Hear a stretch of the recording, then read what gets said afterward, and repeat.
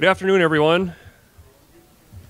My name is Jordan Warnetsky. I'm here on behalf of the Bismarck NDDOT District. So our next speaker is, is Justin Schlosser. He is here to discuss the Highway Safety Improvement Program and the Local Road and Safety Program this hour. Please welcome Justin Schlosser.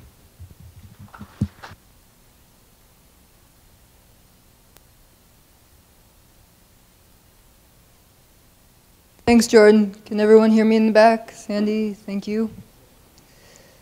The only bad thing about being up in this room is you don't get the intro music like everyone else does. But good afternoon, everyone. Thanks for coming today. I get the privilege of talking to you about two very important topics today, and those are the Highway Safety Improvement Program and the Local Road Safety Improvement Program. So the agenda for our half hour, hour together um, is going to be to do an overview of the HSIP program, also known as the Highway Safety Improvement Program, an overview of the Local Road Safety Program, also known as the LRSP program, HSIP funding, HSIP schedule, and eligible HSIP projects. So now that everyone is aware what HSIP and LRSP stands for, um, I'll probably use those acronyms from now on for the rest of my presentation. So the first graph I want to start with is a very important graph. And this is data showing the fatalities on all public roadways in North Dakota. And this is the data from 2012 to 2020. Our 2021 data is not finalized yet, so we don't have that information yet at this time on the graph. But as you can see, um, something that we should be proud of, but we still got a lot of work to do on our public roadways for safety. Um, our trend line is going down and the five-year rolling average is going down. And hopefully we can continue that, but we need everyone to chip in to accomplish that goal of getting to Vision Zero. So with that, the HSIP program. The goal of HSIP is to achieve a significant reduction in traffic fatalities and serious injuries on public roads through implementation of infrastructure-related highway safety improvement pro, highway safety improvement pr improvements. Um, few very key points on this is infrastructure related. So it has to be infrastructure items. Um, and it is, the goal is to reduce fatalities and serious injuries. And the last thing I'd like to point out is that with many federal funding, we can only use it on our state highway system, but this HSIP program can be used on all public roadways, which is a great benefit to this program. So anybody out there who works on county or local roadways, um, please be aware that this program also relates to you. So just a little bit of overview. The HSIP program is a core federal aid program. And it ties directly to the ACE SHSP program or the Strategic Highway Safety Plan, which is also known as our Vision Zero plan in North Dakota. And that has a direct tie to the Highway Safety Improvement Program in North Dakota also. And there you can just see our Vision Zero plan was last updated, completed in 2018. We uh, actually have an RFP on the street now to update that. Um, and I think we have to have that updated by 2023. And just the next picture is just the HSIP program that we put together. Um, yearly, we put that together with a four-year list of projects for the upcoming years.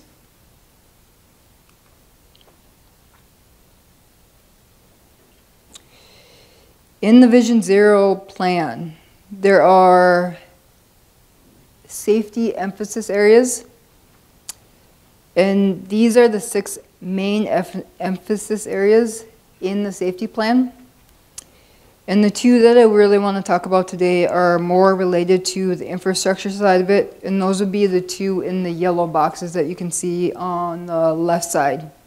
And those would be lane departure, which most of our fatalities in North Dakota on the roadways are lane departure crashes. Another one is intersections. The other four are more related to the behavioral side of it.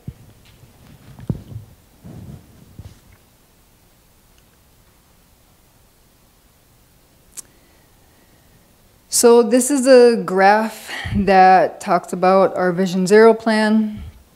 At the top in the big blue box, and underneath that, the first row in the pink big box is the whole pink box talks about the HSIP program. And the first row is the problem identification. So this is where we collect data, traffic volumes, roadway geometry, crashes, traffic control, and many other things to identify the problem. And just going down through that, I don't want to go through the whole thing in detail, but going down that a little bit further, you can see the row where we develop the HSIP project listing.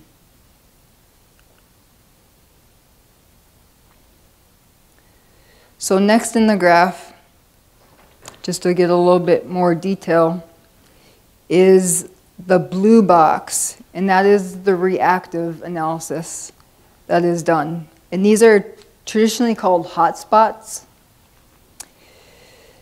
Analysis of high crash locations and resulting projects tend to be ex expensive because you're looking at one specific intersection or segment of a roadway.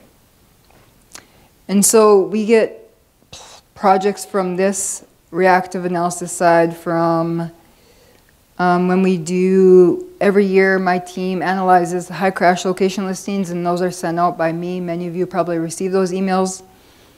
We can also get them, get reactive analysis from, we have a fatal crash review team if there's a fatal crash on our roadway system. And also road safety reviews when we get a call from an entity, a local jurisdiction, or the state highway department, we want to look at a specific intersection or segment that we go out and get a specialized group of people to look at the safety improvements of that segment or intersection. So the other part of it in the pink on the right side is the systemic analysis. And this is the one that typically, if you don't work with this, many people don't know about. So the systemic analysis looks at specific characteristics where severe crashes have occurred. And so this uses risk factors to identify locations that benefit from low cost safety countermeasures. Resulting projects tend to be spread out over a large area and we tend to save money because we're doing a bigger project area or a bigger widespread location. So on the right side, I just went through and listed when we did our local road safety plans. We took risk factors for intersections, and you can see the seven of the risk factors, there's all stars up there. Seven of the risk factors that we used for looking at intersections we did when we did the local road safety plan. Also, I listed the five risk factors that we used when we looked at curves. And so when we did this, for the local road safety plans, if anything had three or four stars, they were put as um, something, a risk factor location, and a project or a plan to do improvements at that location were completed or were put in the plan. So on that side, we have the local road safety plan like I've been talking about, and then we also did this on our state system too. So we did the state road safety plan and we just completed those a few years ago where we did safety improvement projects. Um, we took it district by district, so we did all eight of our districts on the, the DOT side.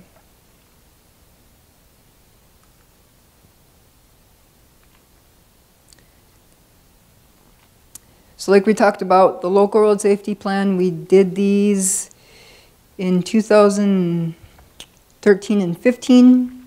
Um, Data-driven process with the goal to to reduce severe and fatal crashes. Remember that.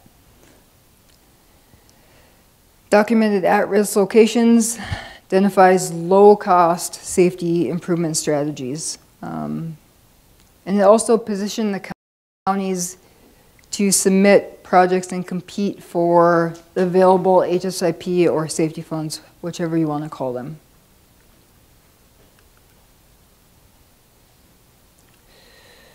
So as I discussed, in 2013 and 2015, we completed the LRSPs, or the local road safety plans, for all 53 counties. We completed them for the 12 major cities, the four tribes, and also the one national park. And this is the website that shows all those plans, and I threw a link at the bottom. Um, I think our presentations are going to be posted afterwards if anybody wants to get to that, or you can Google North Dakota DOT local road safety plans, I think pops the link up to the plans.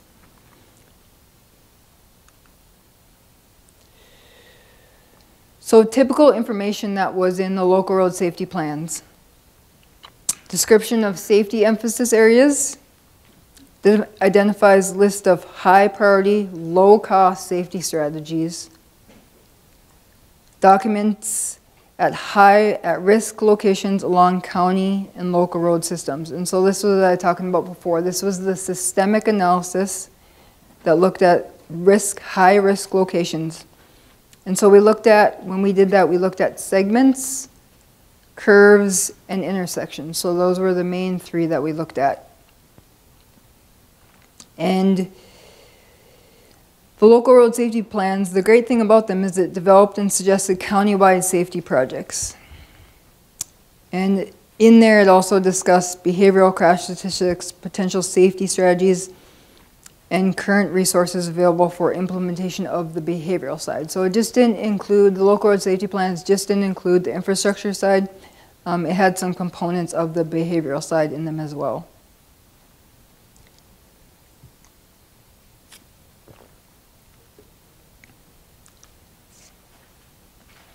So this is probably hard to see, but this just is a typical page from the local road safety plan. And it can act as an application to be torn out or copied or emailed to me to submit for HSIP projects. So easy process for locals to look at their local road safety plans, grab the sheet, and send it in to me. So each application in the local road safety plan is considered a pre-approved eligible project for HSIP funding. Um, submits the form directly to me through the solicitation process. And the North Dakota DOT is committed to assist with funding for the local road safety projects. So we have, we get about, we'll go into more detail, but we get a certain amount of money from HSIP funding federally every year. Um, we are guaranteed, we are committed to split that 50-50 if need to from the state system and the local system. There just a couple messages that we wanted to, I wanted to relate to some of the local agencies out there, if there's any consultants or local agencies that work with the counties out there. Um, please be aware that you can submit your projects. To submit your projects, if there's any public people that want to submit or have a location that want to be looked at, please submit that to your commissioner or council. Um, So one other thing is that in the local road safety plan, you still have to complete the preliminary engineering. One thing to get away from that is if there's projects such as putting chevrons on the outside of a curve or some simple signing projects, you can also do those projects by yourself. You don't need to go through the HSIP program to do those small projects if, if you have forces to do that. Uh, if you're working in an MPO planning boundary, please make sure that um, you coordinate with your MPO and work through them. They're the ones that need to submit the information to me for HSIP project. And then if planned improvements can be done in-house with your own forces, like I mentioned, that can be done sooner, cheaper, and some less red tape that you have to go through as an entity. One other thing that we really haven't done in our state too much on the local side, and, and there's been some more discussions nationally, is possibly bundling with other local entities so that either means you in another county or another local jurisdiction beside you, working with them to, to bid a project together so that we get cheaper prices and a bigger project to construct.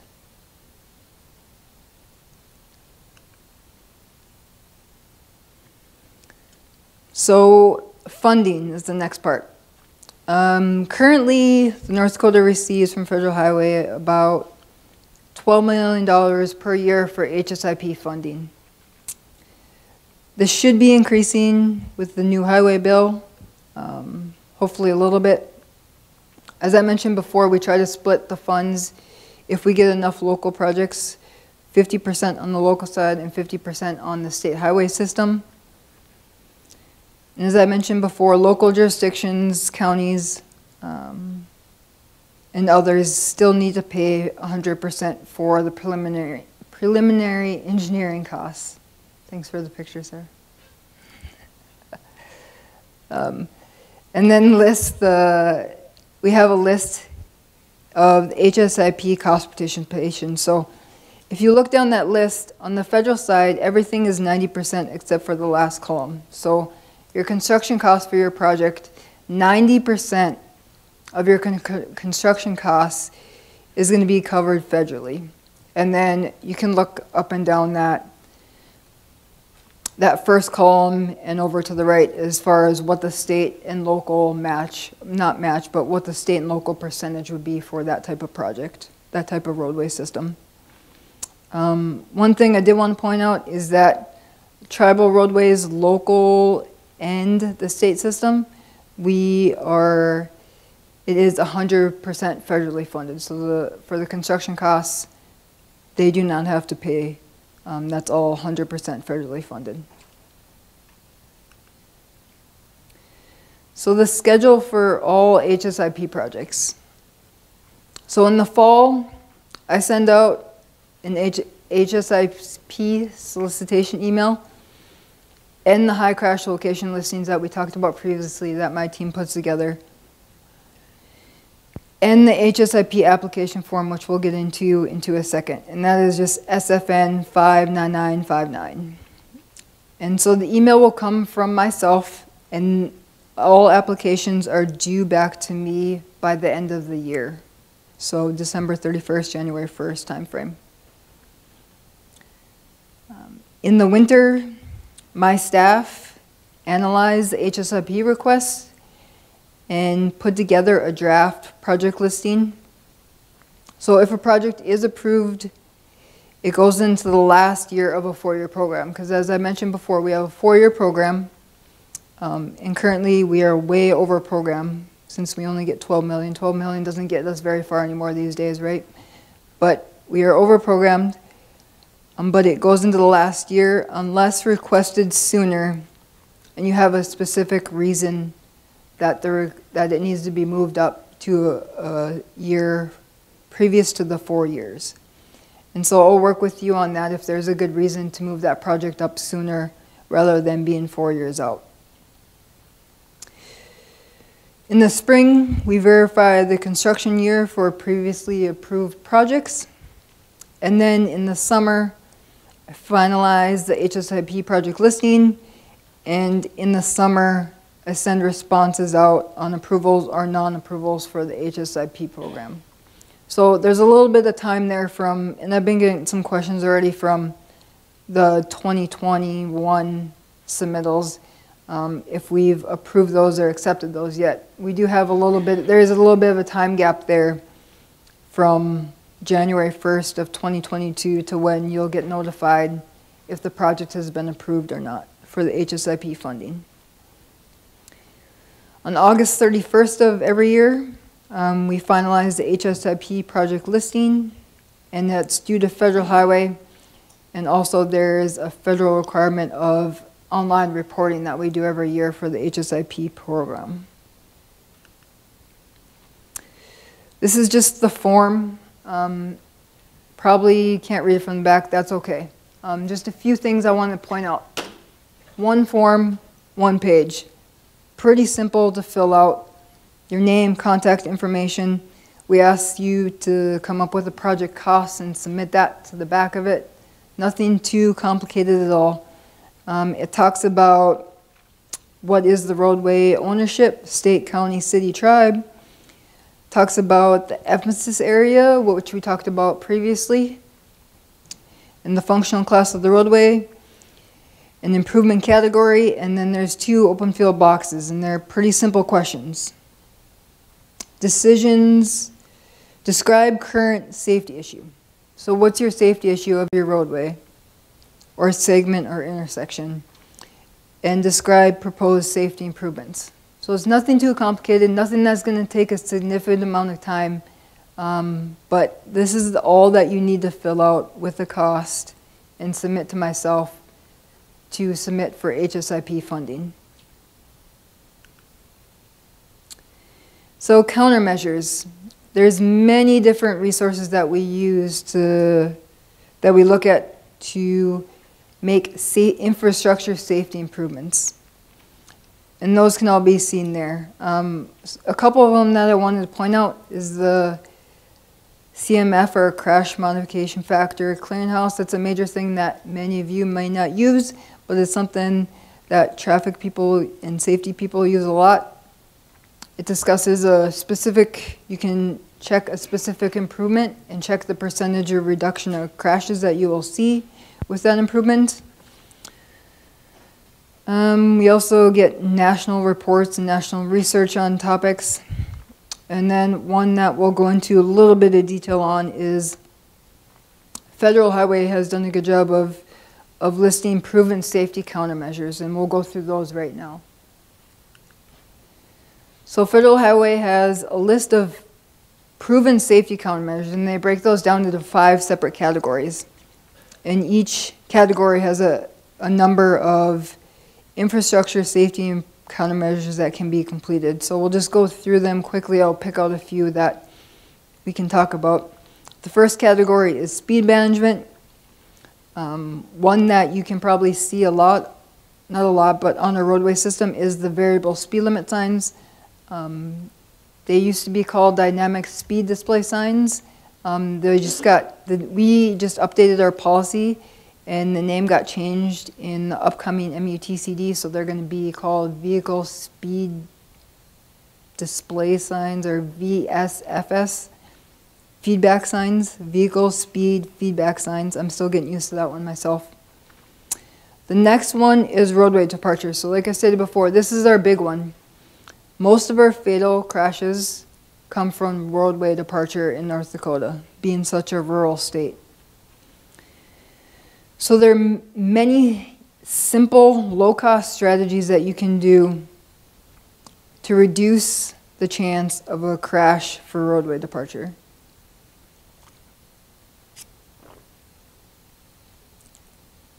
One of them that has been catching on more nationally and, and we haven't started widely across North Dakota yet is the first one is wider edge lines. A lot of national states are using six inch edge lines and we've done those on an example I'll show you in, in a little bit here. Um, enhanced delineation for horizontal curves. You, if you drive many of our state highways, a lot of our curves now that are sharper have chevron signs on them. Rumble strips, median barriers. Um, there's many low-cost strategies that you can do for roadway departure. Another big one in interstate is intersections. Um, these you can see many improvements that you can do to improve intersections. Um, one of my favorites is roundabouts, huge proponent of roundabouts. Another one is turn lanes and then the one on the right side, the second one down, is systemic application multiple low-cost countermeasures, and we'll go through that in a little bit more detail later also. There's many improvements you can do there. Some of them that you may be seeing more and more in North Dakota are the one on the top right, and that would be rectangular rapid flashing beacons. And the last category that Federal Highway has is cross-cutting. Um, it's more of an open category. I would say, so it's friction. Um, the one on the right is, the great thing is that many other states across the nation do not have local road safety plans. Um, probably only a dozen or so, maybe a few less. Um, so we are up on that step across the nation. So we have completed those, and with the RFP that we have out now for updating our Vision Zero plan, there's also a component in that RFP to look at our local road safety plans and update those possibly. And also, the last one is road safety audits, and those in North Dakota, instead of audits, we say road safety reviews. So we've talked about those a little bit during this presentation already. Next, lastly, I'm just going to go through some pictures of some strategies or or projects that you can improvements, infrastructure improvements that you can submit for HSIP funding. So the first one is very simple, chevrons. Very simple, low cost, very low cost application that can significantly reduce roadway departure crashes. Next one is shoulder rumble strips and also centerline rumble strips. I know on the North Dakota system we have these everywhere already, but on some on some of the local systems, county systems don't have these yet. Um, I encourage you to submit these for HSIP projects. Um, we can participate in that funding and help you get these completed on your system. We talked about six inch wide pavement markings, um, proven and shown that these reduce crashes from lane, depart lane departure crashes. Turn lanes, a little bit more cost, medium cost improvement, but turn lanes are known and have shown, proven to reduce crashes.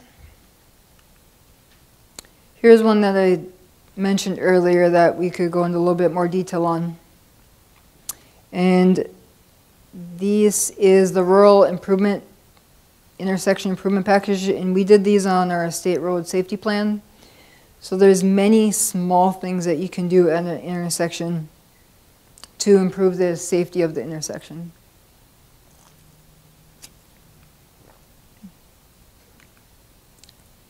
Destination light um, this is a light that is just placed at one quadrant of the intersection just to inform the traveling public that a major intersection is coming up. Also, I wanted to point out that on the left side of the page, we have our lighting warrants for destination lighting. So you can read those there. One thing I wanted to point out is just the cross product. Some people may not know what the cross product is, but the cross product is pretty simple. You take the AADD, AADT of the minor road and of the major road, multiply those together, and get a number. If it's greater than 2 million, it meets the warrant for a destination light. Illumination lighting, more lighting of an, of an entire intersection same types of warrants can be seen on the left. Some of them are different. There's also a cross product one for that. We also light our roundabouts and other major intersections. High tension cable median barrier. Um, we have made this a priority to continue to put produce a segment of our interstate system with high tension median cable guardrail every year. So you'll continue to see high tension out on our interstate system. Um, major, major improvement that significantly reduces the risk of a major serious injury or fatal crash. Roundabouts, one of my favorites. As being the traffic operations engineer, this is one that improves traffic operations and also improves safety of an intersection. huge proponent of a roundabout, a little bit more of a costly than some of the other items we're talking about today. But if you have a area or intersection that you want to discuss with me, if you think a roundabout is a great solution for that, please come forward and let me know and we can discuss that and hopefully get another roundabout built in the state of North Dakota. Two lane to three lane or four lane to three lane conversions. As we talked about before, rectangular rapid flashing beacons is just um, instead of the flashing beacon that was not in the olden days, but three, four, five years ago, I guess, it was just one bulb that flashed. Now they have two rectangles that flash a specific pattern that has been studied nationally. So you'll see more of these out. And then lastly, I just wanted to talk about safety corridors. So the North Dakota DOT has, we have taken a new strategy or a new tool, and we have three safety corridors out on our state highway system now. This is just some of the many low-cost improvements that we have done on the safety corridors. We've painted the speed limit pavement markings, did six-inch wide wet reflective pavement markings. We have speed reduction markings. We have the vehicle speed feedback signs. We also have no passing zones um, a lot of low-cost strategies on these safety corridors. So there's three up in our state right now, and currently we are looking at our next three safety corridors, and those will be coming out in the future. So with that, today we talked about the HSIP program in general and an overview. The first link is a link my staff took quite a bit of time and we developed an HSIP guidebook. It goes through everything that I basically went through today and more in detail. That can be found on our programming traffic operations website as well. We also talked about the local road safety program and we have a link there to all the local road safety programs that we developed in 2013 through 2015. We talked about the funding, the schedule, and many of the eligible HSIP project improvements that can be completed and submitted for the program.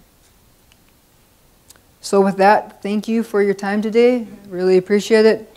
Um, again, Justin Schlosser, there's my email and my phone number. I'm very open and love discussing how we can improve safety not only on North Dakota highways, but also on local roads and local jurisdiction roadways as well. So with that, thank you. I'll be here for the rest of the conference if you want to talk about HSIP. Um, if not, always feel free to give me a call or send me an email. Thank you.